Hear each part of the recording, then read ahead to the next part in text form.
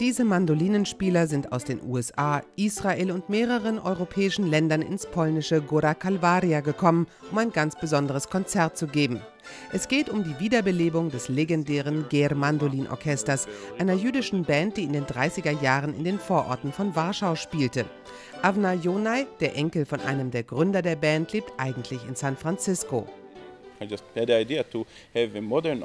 Meine Idee war es, mit einer modernen Gruppe das originale Repertoire des Orchesters zu spielen, in dem mein Großvater Mitglied war, als er noch in Ger lebte.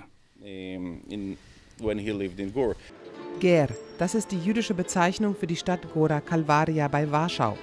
Vor dem Zweiten Weltkrieg sind etwa die Hälfte der 6000 Einwohner Juden.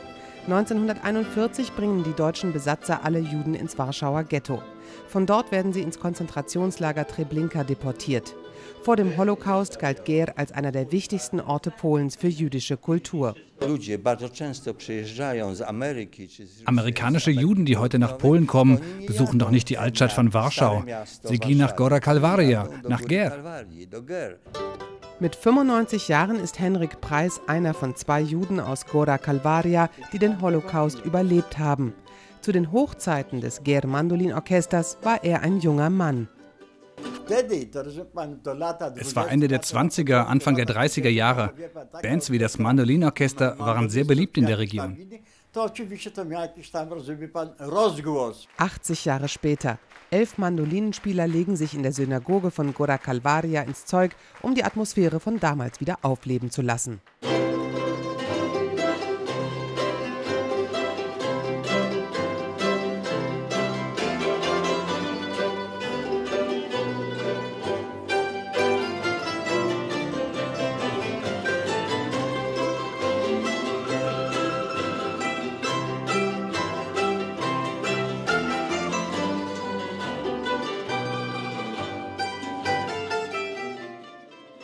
Weitere Konzerte in Europa sind geplant. Doch Avna Jonai und die anderen finden, für ihre Musik gibt es keinen besseren Ort als Ger.